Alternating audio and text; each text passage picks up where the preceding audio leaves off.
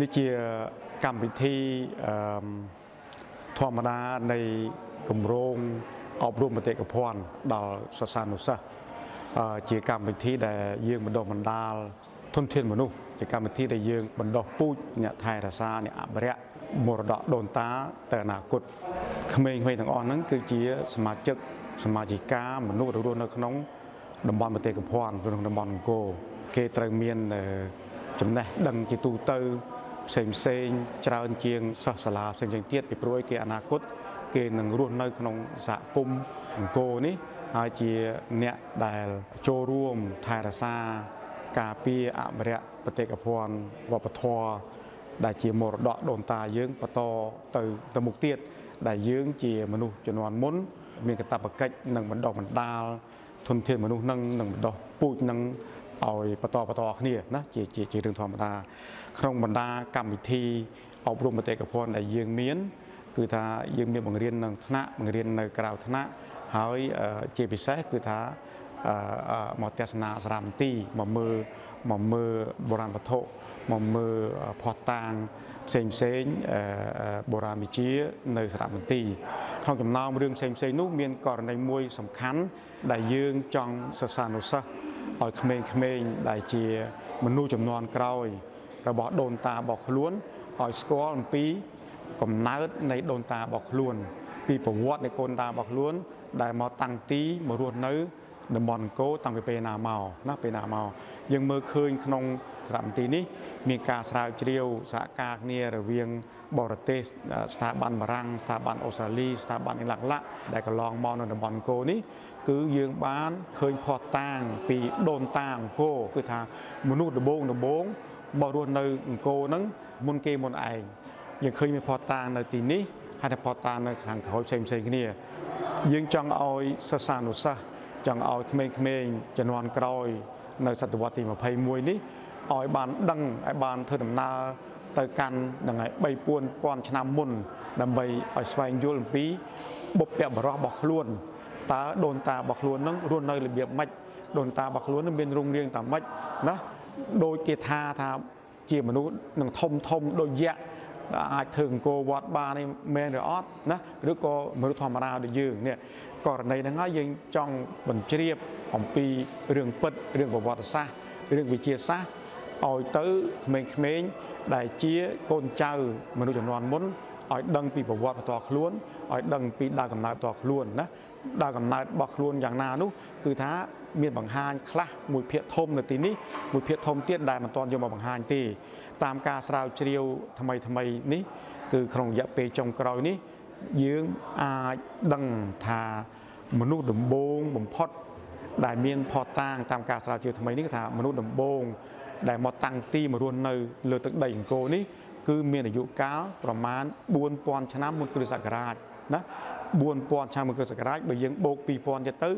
2000មកដល់សប្តាហ៍ថ្ងៃនេះវា6000ឆ្នាំណាដូច្នេះហើយនេះគឺជាភ័ស្តុតាងយ៉ាងសំខាន់ឲ្យយើងឲ្យក្មេងៗបានដឹងថាដូនតារបស់ខ្លួន មានកំណើតមករស់នៅទីនេះមកចាក់ឫសនៅទីនេះនាំនេះមកកកើតជាគ្រួសារមកកើតជាសហគមន៍មកអីអីលាក់លាក់ហ្នឹងហើយបន្តដល់ខ្លួនឯងហ្នឹងគឺមានកំណើតមកពីណាណានឹងហើយតាមការស្រាវជ្រាវយើងឃើញអញ្ចឹងតតគ្នាបើថា4000ឆ្នាំមុន គឺសករាជគឺយើងមិនទាន់ទទួលឥទ្ធិពលពីឥណ្ឌាយើងមិនទាន់ឥទ្ធិពលសាសនាអំណាមួយទេ យើងតែជាជនជាតិដែលកើតកើតពីលើទឹកដីហ្នឹងហើយមករស់នៅលើទីហ្នឹងហើយតតមកតាំងពី4000ឆ្នាំមកយើងឃើញមានមនុស្សរស់នៅតតគ្នា3000ឆ្នាំ2000ឆ្នាំរហូតដល់បច្ចុប្បន្នគឺថាចាប់ពី4000ឆ្នាំមកដល់បច្ចុប្បន្នយើងឃើញថាទឹកដីអង្គរនេះពុំដែលមានដាច់មនុស្សហោចមនុស្ស ឬក៏បោះបង់ចោលទេគឺមានស្លាកស្នាមនៃការរស់នៅតតតគ្នាណាដូចជាករណីដែលយើងឃើញនៅមុខយើងនេះគឺជាការចម្លងអំពីរូបភាពនៃកំណាយមួយ អំពីសម័យកាលមុន សម័យកាលមួយឈ្មោះថាយុគសម្រិទ្ធដែលមានអាយុកាល2000ឆ្នាំមុនគឺសករាជបើយើងបូកទៅវា4000ឆ្នាំមកដល់បច្ចុប្បន្នដែលជាយើងឃើញថាទឹកតាងនៃតួនៃមនុស្ស មែនតែនវិវត្តមកមួយទំនើបហើយមនុស្សសម័យហើយ គឺដែលមានទ្រង់ទ្រាយមិនមែនដូចការដែលយើងគិតដែលយើងនិយាយតនេះថាមនុស្សចំនួនដើមមានធំធំទេណាគឺដូចយើងសពថ្ងៃណាដូចយ៉ាងនេះយើងឃើញមានឃើញអ្នកសាសនានៃក្រងឆ្អឹងមនុស្សនេះមានមានក្មេងមានមនុស្សចាស់លក្ខណៈគឺថាមានតម្រង់ត្រង់ទាយដូចមនុស្សបច្ចុប្បន្នអត់ខុសគ្នាទេមានកម្ពស់ជាទូទៅ1ម៉ែត្រ60 1ម៉ែត្រ70ចឹងទៅមានខ្លះ1ម៉ែត្រ 50ក្មេងស្លាប់នៅអាយុ7ឆ្នាំខ្លះអាយុ40ឆ្នាំលក្ខណៈនិងប្រពៃណីវប្បធម៌របៀបរបបនៃការរស់នៅរបៀបរបបនៃការបញ្ចុះសពក្រោយស្លាប់ទៅដែលរបៀបបញ្ចុះសពបែបនេះគឺថាខុសពីទំនៀមនៃការបញ្ចុះសពនិងការបញ្ចុះធាននៃការបូជាសពនៃបច្ចុប្បន្នដោយសារបច្ចុប្បន្ននេះយើងទទួលមរតកពីសម័យ អង្គរពីសម័យមុនអង្គរសម័យមុនអង្គរសម័យអង្គរគឺយើងទទួលពលពីឥណ្ឌាដូច្នេះហើយរបៀបដែលចាត់ចែងមនុស្សស្លាប់ទៅខុសពីមនុស្សដែលមុនណាសម័យដែលទទួលពលរបស់ឥណ្ឌាហើយយើងមានវប្បធម៌មួយផ្សេងផ្សេងគ្នាតតទៅកន្លែងនេះហើយយើងចង់បង្ហាញឲ្យសិស្សយើងឲ្យដឹងថាកំណកំណើវិវត្តនៃមនុស្សណាតពីណាតណាហើយមានភាពតាក់ទងគ្នាបៃនៃតាក់ទងគ្នារបស់ប្រើប្រាស់ប្រើប្រាស់តតគ្នាតាំងពី តាំងពី4000ឆ្នាំមុនគ្រិស្តសករាជរហូតដល់បច្ចុប្បន្ននេះឥឡូវនេះគឺជារឿងសំខាន់ឲ្យអ្នកជំនាន់ក្រោយក្មេងជំនាន់ក្រោយឲ្យបានទទួលព័ត៌មានហើយខ្លួនឯងបានស្វែងយល់ពីដូនតារបស់ខ្លួនអំពីកន្លែងរស់នៅរបស់ដូនតារបស់ខ្លួនរបស់ហូបចុករបស់ដូនតារបស់ខ្លួនដូចយើងឃើញរូបដែលបង្ហាញនៅនេះគឺយើងឃើញមានប្រភេទសត្វពីរអាណត្តិដែលជាចំណីអាហាររបស់ដូនតារបស់យើងដែលហូបចុកមិនខុសពីយើងបច្ចុប្បន្នណាមានត្រីសាច់ ផ្សេងផ្សេងមានត្រីប្រភេទត្រីផ្សេងផ្សេងដែល4000ឆ្នាំមុន3000ឆ្នាំមុន2000ឆ្នាំមុនមានក៏នៅបច្ចុប្បន្នក៏នៅមានណាប្រភេទត្រីក៏នៅមានដូចគ្នាហើយទៅការបរិភោគអស់ហ្នឹងក៏មានដូចគ្នាហើយទៅនឹងមានផោះតាងផ្សេងផ្សេងទៀតការបរបាញ់សត្វផ្សេងផ្សេងគេប្រើគេប្រើព្រួញគេប្រើស្នគេប្រើអីក្របលុញក្របអីក៏ថាមានផោះតាងបន្តគ្នាដូចជា វាប្រពៃណីការរស់នៅហ្នឹងគឺថាវាអត់ខុសគ្នារបៀបរស់នៅក៏អត់ខុសគ្នាតមកការប្រើក្អមប្រើឆ្នាំងអីផ្សេងផ្សេងក្នុងការចម្អិនអាហារក៏អត់ខុសគ្នាដូចបច្ចុប្បន្នទេណាគាត់តែយើងទំនើបជាងប៉ុន្តែប្រពៃណីដែលនៅតគ្នាអានេះហើយគឺជាសារៈសំខាន់ឲ្យយើងស្វែងយល់អំពីដំណើរវិវត្តផងភាពបន្តគ្នាពីប្រពៃណីពីមុនដល់ក្រោយអានេះហើយដែលជាគ្រឹះមមទាំឲ្យយើងស្គាល់អំពីវប្បធម៌របស់ខ្លួន ឲ្យយើងស្គាល់អត្តសញ្ញាណរបស់ខ្លួនដូច្នេះហើយអត្តសញ្ញាណហ្នឹងមានតម្លៃខ្លាំងណាស់សម្រាប់នៅជំនាន់ក្រោយថាខ្លួនបប្រតិបត្តិខ្លួនរស់នៅខ្លួនហូបចុកខ្លួនទទួលទានខ្លួនស្នាក់នៅក្នុងផ្ទះបែបបែបណាគឺវាមានប្រពៃណីមិនមែនទុំកើតមកថ្ងៃនេះគឺកើតនៅថ្ងៃនោះគឺថាយើងមានតតគ្នាយ៉ាងហោចណាស់ក៏ពី3000ឆ្នាំមុនគ្រិស្តសករាជតមកបច្ចុប្បន្នណាបច្ចុប្បន្នដែរហើយក្រៅពីហ្នឹងគឺយើងឃើញការតុបតែងខ្លួនផោះតាងនៃការតុបតែងខ្លួននៅ ហ្នឹងហើយសម័យមុនគេប្រើ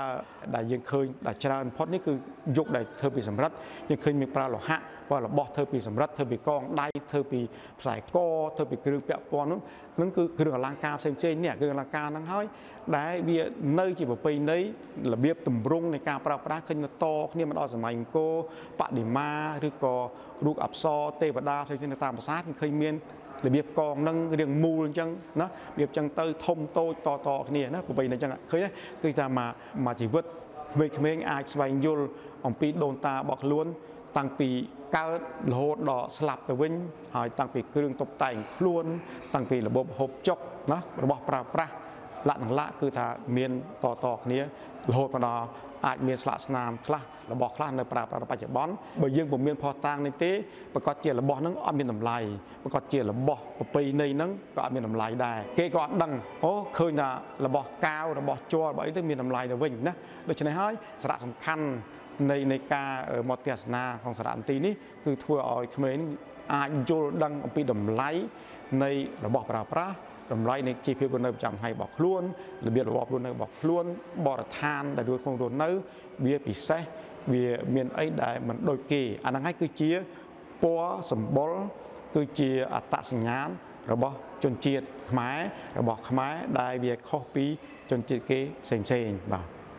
ខ្ញុំផ្ទាល់ខ្ញុំគិតថាវាជាវាពិតជាមានសារៈសំខាន់ណាស់សម្រាប់កូនកូន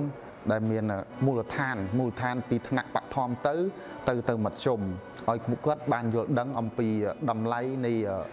វប្បធម៌អរិយធម៌ហើយនឹងប្រវត្តិសាស្ត្រផ្សេងផ្សេងឲ្យដឹងពីតម្លៃហើយនឹងចូលរួមការពារហើយនឹងស្វែងយល់សម្រាប់ជាចំណេះដឹងមួយឲ្យគាត់នឹងទៅមធ្យមឬក៏ទៅមហាវិទ្យាល័យគាត់មានចំណង់ចំណូលចិត្តឬក៏ចាប់អារម្មណ៍ទៅលើមុខជំនាញបែប ការស្រាវជ្រាវឬក៏បុរាណវិទ្យាអីផ្សេងផ្សេងអញ្ចឹងគាត់ថាវាពិតជាមានតម្លៃណាស់អរគុណខាងក្រុមការងាររបស់អាជ្ញាធរអប្សរាដែលផ្ដល់ការអនុញ្ញាតដល់សិស្សសាលាបឋមសិក្សាវត្តលីរបស់ខ្ញុំបាទហ្នឹងឲ្យពួកគាត់បានមកចូលរួមហើយនឹងស្វែងយល់អំពីសារៈសំខាន់នៃសម្បត្តិមនុស្សជាតិរបស់យើងទាំងអស់គ្នានឹងបាទបាទខ្ញុំសង្ឃឹមថា ក្មេងៗសិស្សានុសិស្សដែលបានមកសិក្សាស្វែងយល់អំពីសម្បត្តិវប្បធម៌ទាំងអស់ហ្នឹងពេលគាត់ត្រឡប់ទៅវិញពួកគាត់នឹងអាចនិយាយប្រាប់ដល់បងប្អូនយាយតាឪពុកម្ដាយរបស់ពួកគាត់ឲ្យគាត់ដឹងថាតំបន់ដែលគាត់រស់នៅដែលគ្រប់គ្រងដោយអាជ្ញាធរអប្សរាគេហៅថាឧសៀនអង្គរហ្នឹងគាត់នឹងឲ្យយល់ពីតម្លៃហើយនឹងជួចូលរួមជួយថែរក្សា